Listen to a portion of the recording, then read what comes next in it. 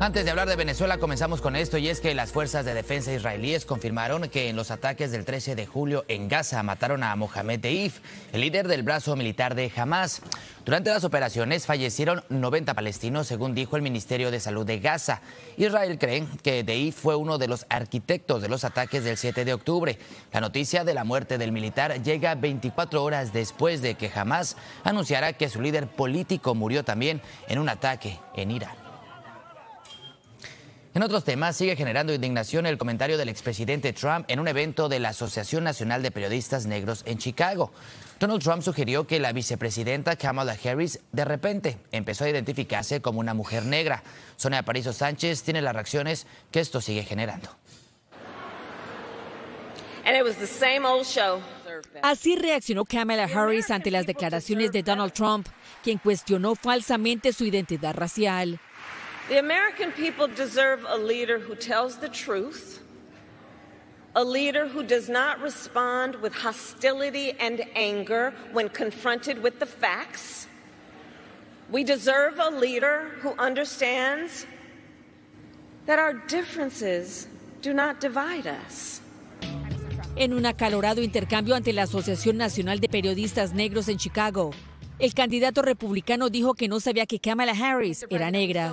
You believe that Vice President Kamala Harris is only on the ticket because she is a black woman? Well, I can say no. I think it's maybe a little bit different. So, uh, I've known her a long time indirectly, not directly, very much, and she was always of Indian heritage, and she was only promoting Indian heritage. I didn't know she was black. Los comentarios del expresidente han resonado en la comunidad afrolatina. Lo que es más importante es si ella puede hacer el trabajo.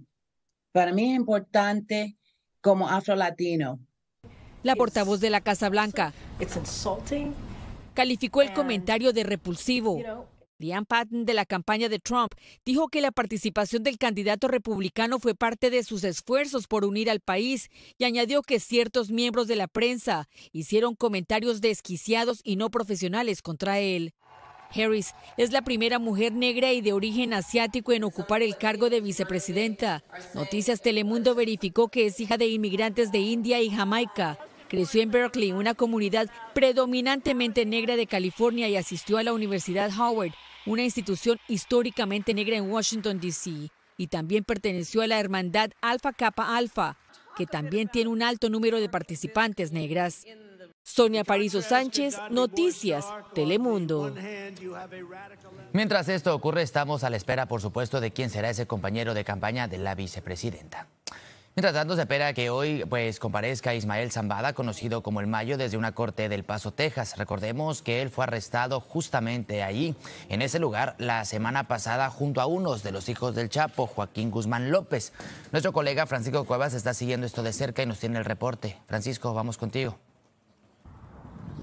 En El Paso, Texas, en esta Corte Federal, todo está listo para la audiencia a la que tendrá que comparecer Ismael El Mayo Zambada, para enfrentar serios cargos criminales en su contra.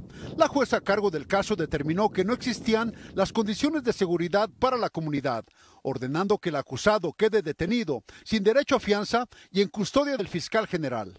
El abogado Frank Pérez dijo que a su cliente lo obligaron a subir a un avión con las piernas atadas al asiento y lo llevaron a Estados Unidos en contra de su voluntad y que no se entregó ni negoció ningún acuerdo con el gobierno estadounidense, que Joaquín Guzmán López lo secuestró por la fuerza. En una corte federal de Chicago, el hijo del Chapo Guzmán se declaró ayer no culpable de los cargos en su contra. Su abogado también negó categóricamente las acusaciones que lanzó el equipo de Zambada. There has never been an agreement with the government um, with Joaquín Guzmán López. Es el abogado de Joaquín Archibaldo Guzmán Loera y En de México, durante un programa radial, José Luis González, el abogado de la familia Guzmán en ese país, hizo pública una carta que asegura era de sus clientes, en la cual se niega cualquier tipo de conspiración alrededor de los arrestos. Hace aproximadamente cuatro años se iniciaron pláticas con las autoridades norteamericanas sobre la posibilidad de entregar voluntariamente por parte del grupo.